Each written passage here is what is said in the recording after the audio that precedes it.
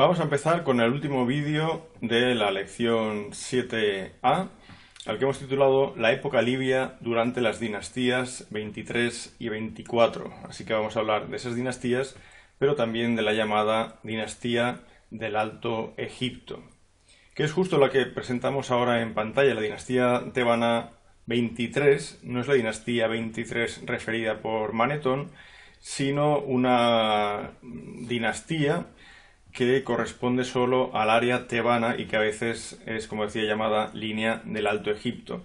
La cronología que veis aquí es la elaborada por Jürgen von Beckerath, pero no es la única cronología del periodo. Tenemos, tenemos más y podéis observar comparando unas y otras que hay pequeñas variantes. En todo caso, lo que me interesa aquí presentar es eh, un primer rey de Tebas, que es Arsiese, que llegó a tener antes el título de primer sacerdote del dios Amón y que eh, por muchos autores se asocia a Sheshon II. Sheshon II fue un efímero rey tanita, hijo de Osorcón I, pero también de Matkara, hija del último rey de la dinastía 21, por lo que eh, bueno, se trata de un personaje importante y si hacemos de Arsiese hijo de Sheshon II, pues eh, podríamos interpretar sus eh, ansias ¿no? por conseguir alcanzar el trono. En todo caso, esto no está absolutamente demostrado y él aparece solo como rey en Tebas. De hecho, se enterró en Medinet Abu, en una zona cercana a las capillas de las divinas adoratrices de Amón.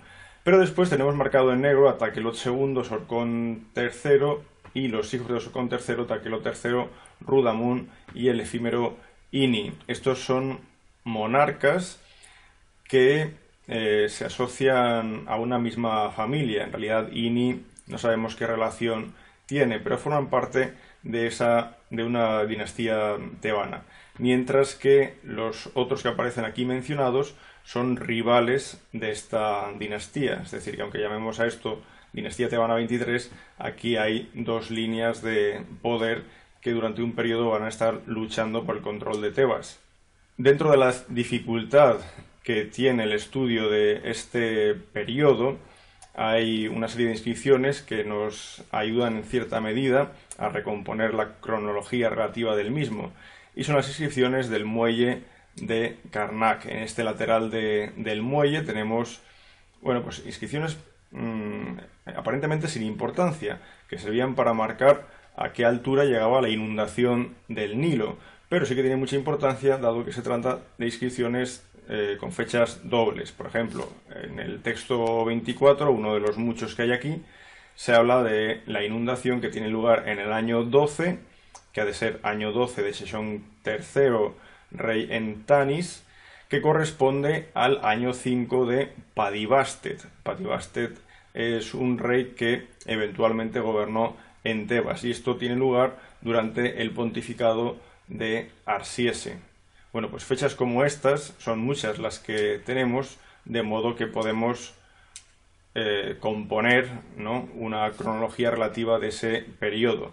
Pero es bastante complejo porque son varios los rivales eh, con título real y también son varios los pontífices que luchan por el control del sumo sacerdocio de Amón. Un ejemplo eh, muy atractivo es el del príncipe Osorcón. De él no solo tenemos constancia en esas inscripciones del muelle de Karnak, sino también en una bella inscripción conocida como La crónica del príncipe Osorcón, publicada hace años ya por Caminos.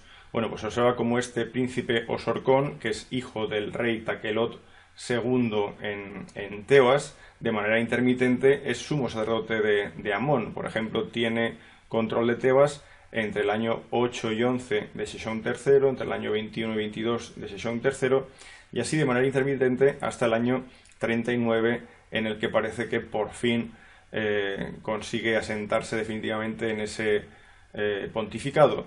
Mientras tanto, el contrincante que tiene es el sumo sacerdote Arsiese y después al sumo sacerdote Takelot E, que bueno, pues eh, forman parte de esa lucha, de esa crisis que va a durar varios decenios en, en Tebas. Finalmente, el príncipe Sorcón se hace con el poder en Tebas y llegará a ser titulado rey. Solo como rey prácticamente tiene un gobierno de 30 años, con lo cual podemos imaginar que fue una persona que llegó a una edad bastante avanzada. Con Osorcón III como rey se instaura en Tebas Shepenupet I como divina adoratriz del dios Amón. Aquí se inicia desde luego una dinastía de mujeres cada vez más poderosas e influyentes, las últimas de las cuales gozarán incluso del uso del título de primer sacerdote de Amón cuando este eh, título quede vacante para eh, los hombres. Los hijos de Osorcón III son Taquelot III, que reinará los últimos años de su padre en paralelo a él, en una corregencia, y después eh, Rudamun, que es otro hijo de Osorcón III. Por tanto, Taquelot III y Rudamun son, son hermanos.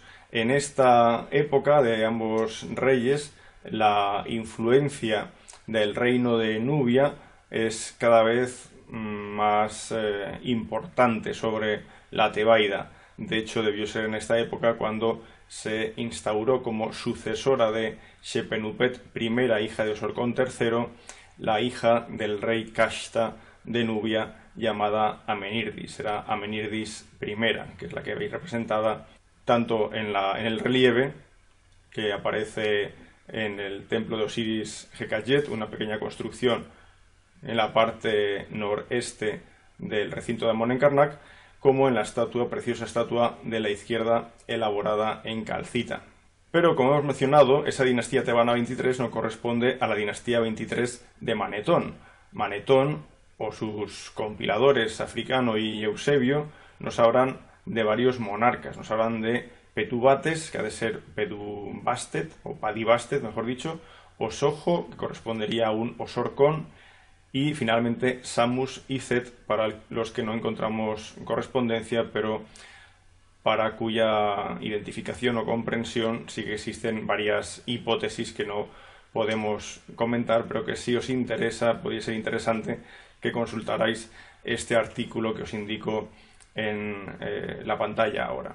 Si en otro momento hablamos de Salmanasar III, de su antecesor Asurnasirpal II, de la presión ejercida sobre las ciudades fenicias, bueno, pues ahora ya eh, pasada la segunda, pasada la mitad del siglo VIII antes de Cristo, encontramos un rey, Tilatfileser III, que gobierna en Asiria del 744 al 727, y en este periodo él va a seguir realizando campañas contra no solo ya la costa levantina, sino también más hacia el sur, hacia la frontera con Egipto. De hecho, hay un texto de este monarca en el que queda claro que impone un bloqueo comercial a, a Egipto, cuando se dice que en Sidón ya se impida que baje la madera y que sea enviada a egipcios ya filisteos. Se impone un bloqueo comercial que marca bien las intenciones de este monarca. Y por otra parte será eh, Salmanasar V, que es sucesor de Tiglath-Pileser III, quien lleve la presión ya al reino de Israel, de modo que el último rey de Israel, llamado Joseas, pida ayuda, según aparece en este texto del Antiguo Testamento, a So, rey de Egipto, para eh, salvarse ¿no? de esa presión asiria. Eh, no sabemos quién es So, pero muy probablemente So es una abreviatura de Osorcón. Y probablemente, como decía, Osorcón IV, que sería rey de la dinastía 23, en este caso la dinastía 23 de, de Manetón. La caída de la capital de Israel, Samaria, tuvo lugar aproximadamente hacia el año 722. Claro, en este momento Egipto no es un país fuerte y unificado.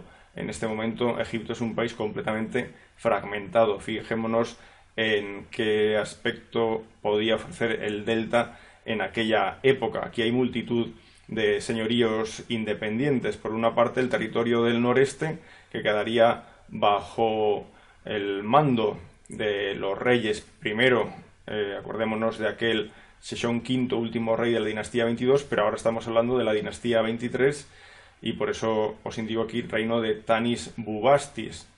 Ese sería el reino de Osorcón IV, por ejemplo, el que intentó ayudar o al, que, o al menos al que se le pidió ayuda por parte del último rey de Israel. Pero aparte de eso tenemos grandes jefaturas de los Ma. Los Ma son los Mashawash, una tribu de origen libio de la cual ya hablamos eh, en la época ramésida. Tenemos también varios reinos, no solo ese de la dinastía 22-23, reino de Tanis Bubastis, sino el reino de Leontópolis, el principado de Atribis, el principado del oeste, y solo esto en el, en el delta, pero el Alto Egipto también presenta divisiones, como veremos ya en la segunda parte de la lección 7.